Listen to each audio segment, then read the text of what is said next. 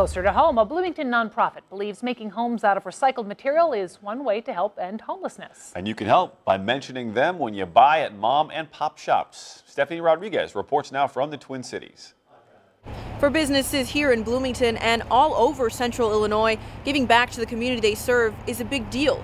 And they tell me they're excited about having hope in 2020 there's hope for 2020 to start changing people's lives forever. Chris Collins is asking you to have hope this year as he's teamed up with around 600 businesses in central Illinois to raise money for his nonprofit.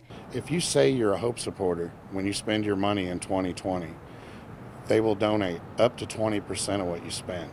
If you see this sticker, you just have to mention hope and a portion of what you spend will go towards buying a $175,000 machine that turns scrap metal into steel to frame homes Collins says will house people in need. We feel like we're helping people all the time with, you know, getting them on bikes, getting them healthier and everything. But if we can, you know, use what we have here to outreach to other people, I mean, it's just amazing. Collins says the homes they plan to build are cheaper and more sustainable. This machine makes 120 feet of material a minute. That's 100, 1,500 square foot homes a day. They won't burn. They won't absorb water. They're stronger, termite free, mold resistant, seismic, recyclable.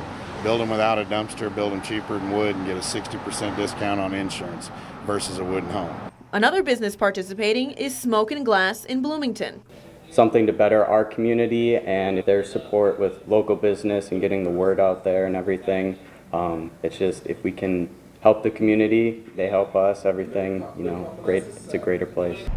Chris Collins tells me that they're about $50,000 away from making a down payment on that machine. And once they have it, they'll begin making those homes here locally as soon as possible. I'll have information on how you can help on our website, week.com. For now, reporting from Bloomington, I'm Stephanie Rodriguez, 25 News.